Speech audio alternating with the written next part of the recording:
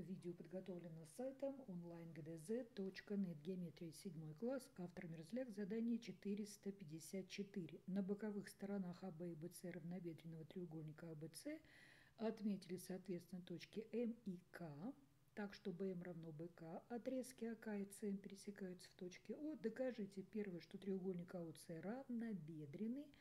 Второе, прямая БО середины перпендикуляр отрезка АС. Итак, Берем треугольник АБЦ, равнобедренный треугольник, и в нем боковые стороны АБ и БЦ, они равны. На стороне АБ отметили точку М, на стороне БЦ точку К, так что БМ равно БК.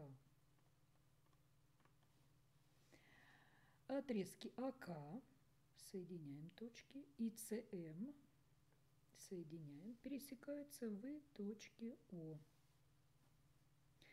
И нам нужно доказать.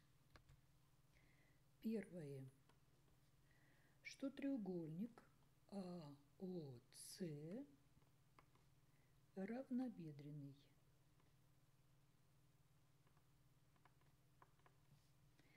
Второе. Прямая БО,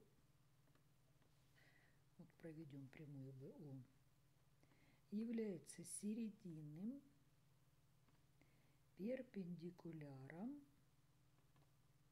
отрезка АС. Начнем с того, что рассмотрим треугольники АМС и треугольник АКС. В этих треугольниках сторона АС общая.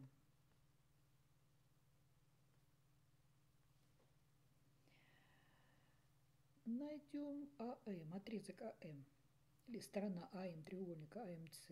Ее можно представить как разность АБ минус БМ. АБ можно заменить на БС, это равные стороны. АБМ на БК Значит, BC минус БК это уже у нас ЦК. Таким образом, АМ сторона равна ЦК, АС общая и еще угол, угол БАС и угол БЦА равны как углы при основании в равнобедренном треугольнике АБЦ.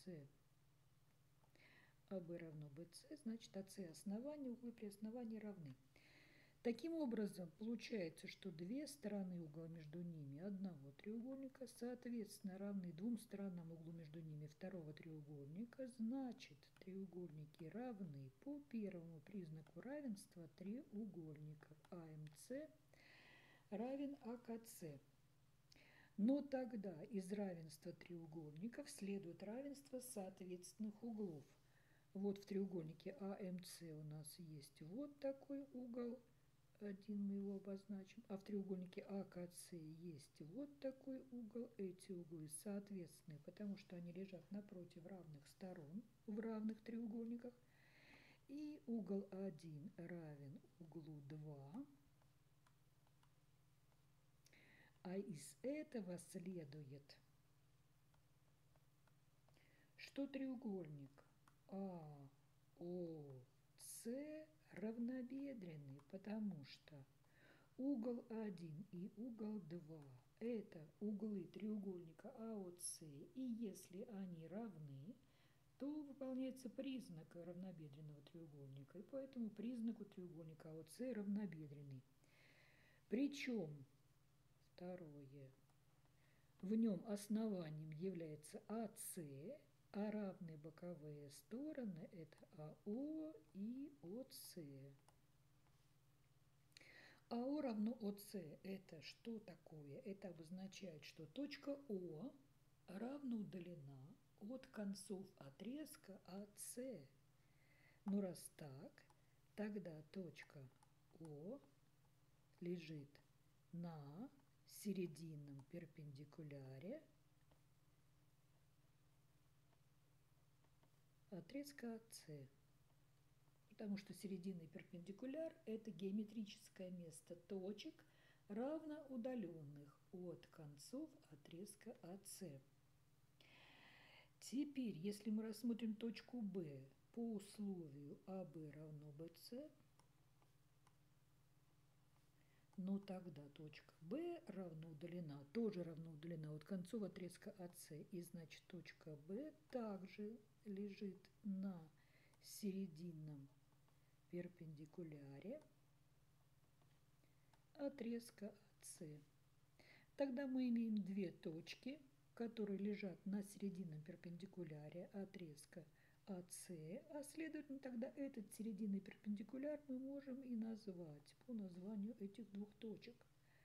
Две точки, как известно, однозначно определяют прямую, поэтому БО и есть искомый срединный перпендикуляр отрезка АС.